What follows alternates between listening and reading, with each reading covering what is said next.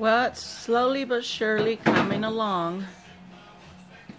My honey had to get one more board, so that's what he's cutting. Getting ready to put another shelf in. But yeah, so far so good. Of course, we won't be done today, but hopefully we'll be done by during the week or by the end, by the end of this weekend. Depends how long it'll take me to to paint it. okay, guys.